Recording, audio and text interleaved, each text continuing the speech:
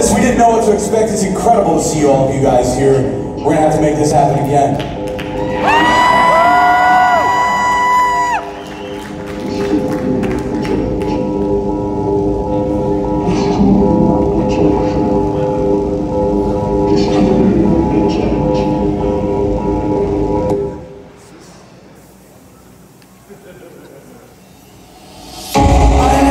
myself into